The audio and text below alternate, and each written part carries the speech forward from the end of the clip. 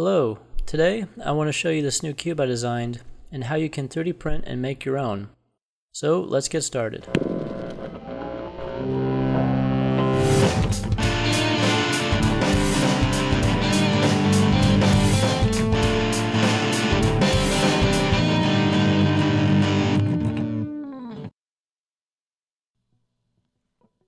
Let's start by 3D printing the two files. One has the four sides of the cube, and the other has the bottom and the lid. Be careful when removing the pieces from the print bed, because the pieces are very thin. I printed this in white PLA and used a metallic chrome to spray paint the four sides and the lid. Once the paint dried, I used super glue to help hold the side panels to the main base.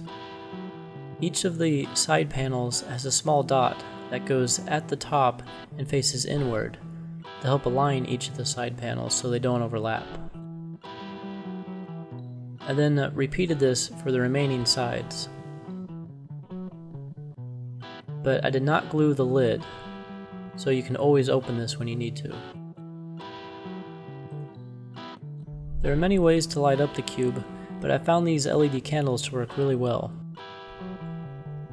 They have a slight flicker to them that I liked. They should fit perfectly in the base, so you can turn the switch on or off. I didn't like how the light was going through the lid, so I went back and 3D printed a piece to help diffuse the light, and then glued that to the lid. Another way to add light to the cube is to open the LED candle and take out the battery you can attach LEDs directly onto the battery and it should produce light. You can tape that together and drop it inside the cube. And you can have any colored LEDs you want. And the cube is now finished.